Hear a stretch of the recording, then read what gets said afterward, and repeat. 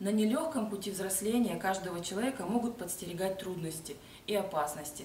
Каждый человек на протяжении своей жизни преодолевает множество преград. От ошибок никто не застрахован.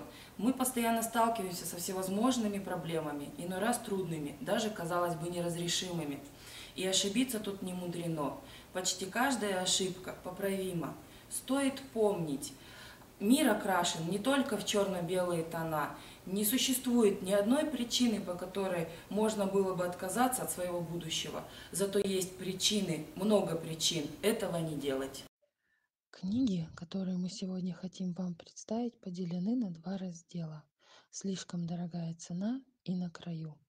Суицид – пугающая тема, ее не принято и не очень приятно обсуждать, поэтому, столкнувшись либо с прямыми угрозами покончить с собой, либо подозревая такое развитие событий, человек нередко оказывается в растерянности, не знает, как к этому относиться, то ли игнорировать угрозы, не обращая на них внимания и считая их пустыми разговорами, то ли бросаться спасать любой ценой.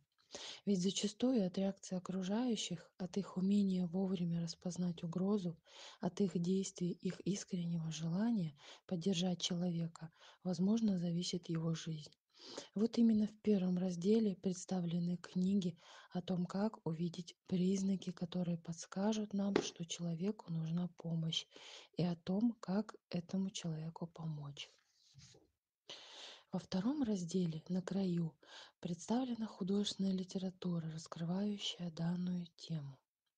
Патрик Несс «Больше, чем это». Жизнь подростка часто бывает непростой. В этом виноваты гормональная буря, юношеский максимализм, пустыня от отрочества, то есть все, чем люди объясняют не всегда разумные поступки подростков, не заглядывая глубже. А им может быть действительно плохо. В жизни Сета, тогда еще ребенка, произошло событие, которое разделило его жизнь с семьей на до и после. С этого момента на его плечи лег груз, который он нес до конца. Джей Эшер. 13 причин почему. Клей Дженсон получает посылку. В ней семь кассет, на которых записан монолог его одноклассницы Ханны Бейкер покончивший жизнь самоубийством несколько дней назад. Страшная исповедь об одиночестве среди сверстников и равнодушии со стороны взрослых людей. Шаг за шагом Клей узнает причины, почему Ханна сделала то, что сделала.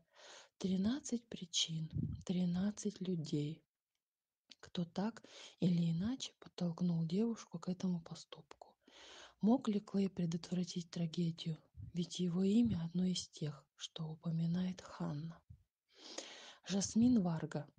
Мое сердце и другие черные дыры.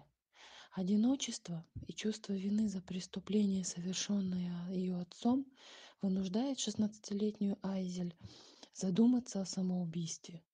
Но у нее самой не хватает смелости совершить этот шаг. На сайте «Уйти легко» она встречает юношу Романа, который также принял решение расстаться с жизнью. Но чем больше времени они проводят вместе, обсуждая, где и как наступит их конец, тем больше девушке хочется остаться в живых. Следующая книга принадлежит двум авторам. Это Андрею Жвалевскому и Евгении Пастернак. «Пока я на краю». Прежде чем отдать рукопись в издательство, соавторы, как всегда, разослали ее своим читателям-испытателям. Кто-то восхитился, кто-то возмутился, кто-то прислал список пожеланий, но ни один не бросил читать.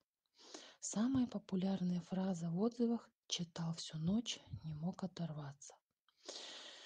Возможно, дело в том, что героиня попала в очень нетипичную ситуацию и выбирается из нее нестандартным образом. Да и люди, которыми она, с которыми она пересекается, редко попадаются в жизни. Топ-модель, крутой автогонщик, вундеркинд, который же вовсе не вундеркинд. События развиваются неуправляемо. И вот уже родители, главные героини, которые вполне обычные люди, начинают совершать нетипичные для себя поступки, которые приводят к непредсказуемым последствиям. Эта книга поможет дать ответы на такие вопросы. Как уберечь детей от суицида? Как не перейти край?